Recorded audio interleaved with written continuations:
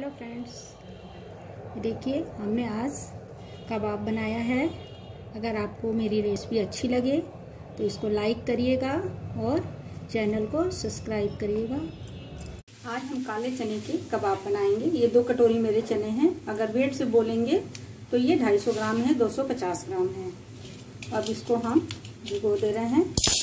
इसको आठ घंटे के लिए भिगो देना है कि जिससे ये चने खूब अच्छी तरह से फूल जाए और जितना चना है, उसका दुगना हमको पानी डालना है इसमें। अगर मेरा दो कटोरी, जैसे मेरी चना था तो हमको इसमें चार कटोरी पानी डाल देना है कि जिससे ये खूब अच्छी तरह से फूल जाए। देखिए, आठ घंटे हो गए हैं। मेरे हमने चने को भिगोए थे, आठ घंटा हो चुका देखिए, खूब अच्छी तरह से फूल चुके हैं ये चने। अब इसको हमको कुकर में डाल देना है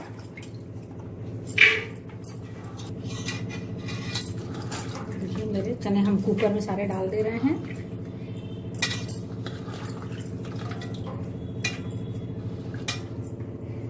देखिए, सारे चने कुकर में हैं। अब हमको एक गिलास इसमें पानी डाल देना है और थोड़ा सा हल्का नमक डाल देंगे। ये नमक डाल देंगे। अब इसको हमको गैस पे चढ़ा देना है करने के बाद।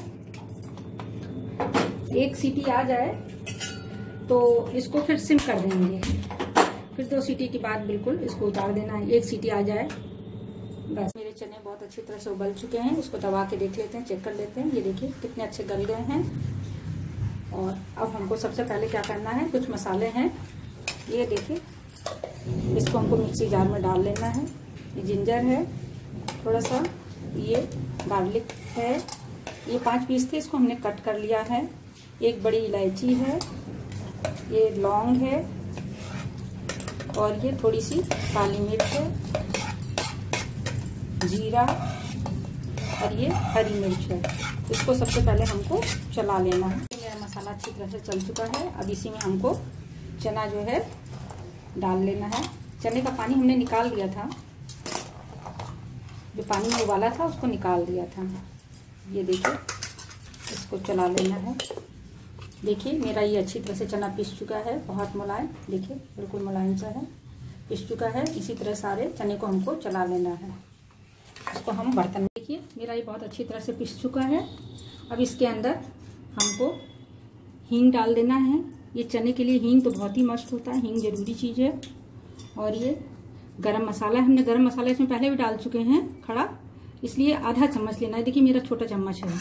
इससे आधा चम्मच। गरम मसाला हो गया। ये खड़ा जीरा है, हल्दी है, आधी चम्मच, और ये मिर्चा भी आधा ही चम्मच है। अगर आप तीखा खाते हो तो ज़्यादा ले लीजिएगा। और नमक नमक जो है, अपने स्वाद अनुसार डालिएगा। देखिए, दो मीडियम साइज़ मेरे प्याज हैं, इसको मैंने छोटे छोटे से मैं काट लिया है, इसको मिला लेना है। और ये पुदीना है, पुदीना डाल दीजिएगा तो बहुत ही अच्छा टेस्ट आता है इसमें।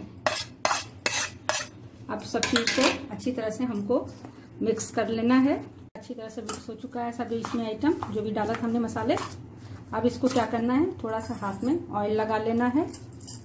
और फिर इसकी गोल गोल ऐसे करके टिक्किया बना लेना इसी तरह हमको सारे पीसेस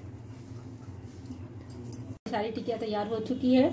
अब इसमें हम अपने कढ़ाई में मस्टर्ड ऑयल डाल दे रहे हैं। मस्टर्ड ऑयल में बहुत ही अच्छा इसका टेस्ट आता है इसको गरम कर दें। कढ़िया गर्म होने ज़रा सा, दो मिनट के लिए। तेल को हिला दिया है हमने।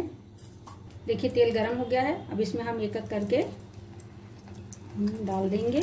देखिए, डाल दे रहे हैं।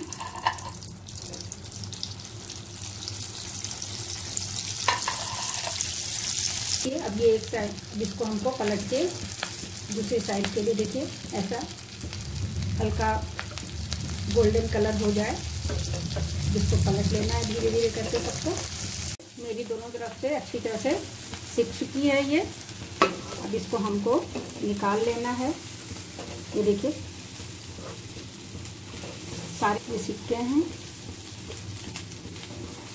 ये मेरे सारे अच्छी तरह से हो चुके हैं। अब इसको चलिए सर्व करते हैं।